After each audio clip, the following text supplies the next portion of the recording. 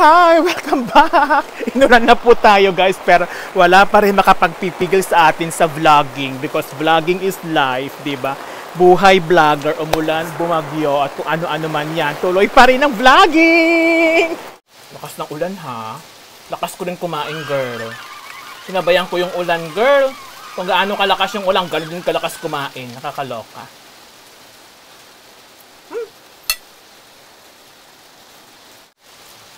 May dahon, sayang. Ang Sarap. Lakas ng ulan, nakakaloka naman.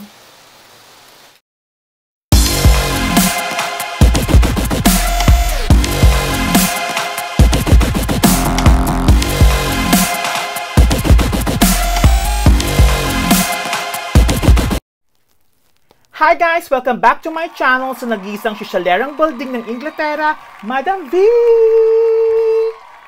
Today's vlog, we will teach you how to make a sticky rice in four ways.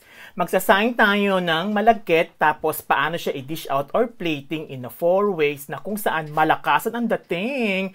'di ba? Para pag ang bisita mo ay si mayor, congressman, senator at si kumpare na crush na crush mo. Kaso diyan si kumare. Charot. Okay?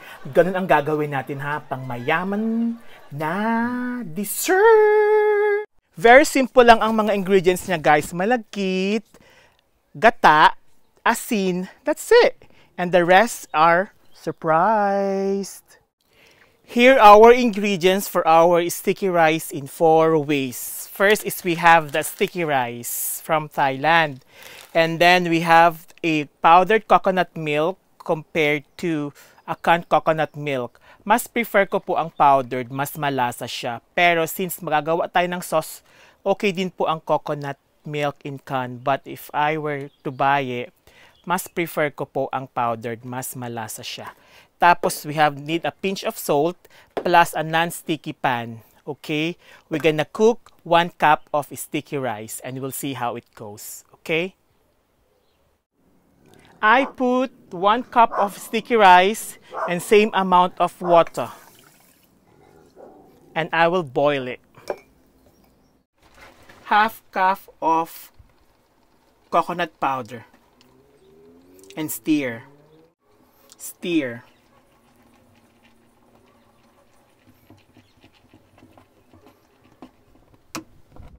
And then pinch of salt to enhance the creaminess of the coconut milk. Ayan guys, luto na siya. Wait pa natin siyang a little bit of ano madry. Okay? alisin ko yung takip para mag ano siya mag dry yung ibabaw. Ayan guys, umuulan na pero wala pa rin tayong awat ya. Walang makakapag-stop sa ating mag-vlog guys. Tapos na po ang ating uh, sticky rice with four ways guys. Hayaan natin yan, background lang yan, diba? Ngayon guys, I show you kung ano po ang finished product natin. So, you sticky rice in four ways. Ayan guys, ang ating finished product, sticky rice in 4 ways. Ito lang yung in 3 ways guys. Sticky rice, plain, tapos pwedeng isawsaw sa uh, sesame with sugar, tapos sa gitna yung coco jam, tapos yung isa naman is yung mango. Yan po ang ating sticky rice in 3 ways.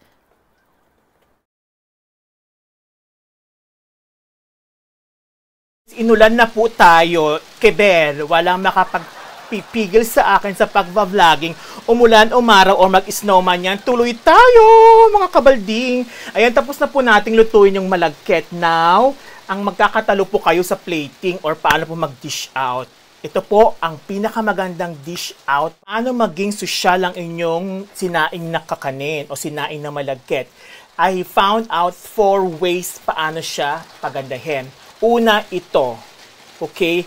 I-dish out nyo sa isang mag, sa magandang white plain na plate tapos tatlong maaaring choices ng guest nyong kainin.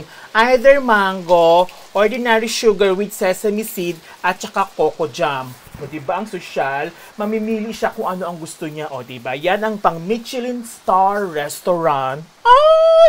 Ang social, di ba? Yung isa naman, yan yung tinatawag na a la carte service. O, na, nakalagay na sa isang plate, tapos toasted sticky rice with toppings na sa lahat. Ayan guys, inulan tayo. Pero excuse me, Keber. Nasa greenhouse po tayo ngayon at titikman ko na ang ating malakasang sticky rice in four ways. This is the a la carte guys, yung naka-plate na lahat, nakahalo na siya lahat. So, konting sticky rice, coco jam, mangga, tapos, uh, they call this one sesame. Harap! Wow! The creaminess of the uh, sticky rice, the sweet and sour of that mango, tapos yung creaminess din ng ano, coco jam, ang sarap. Tapos yung crunchiness ng sesame seed. Mmm. Ang sarap. White wine, please. Ah, my God. Masalan. White wine talaga. Pero ba tubig lang? Mmm. Hanggang sa muli sa nag-iisang sosyalerang Valding ng Inglaterra, Madam V! Bye!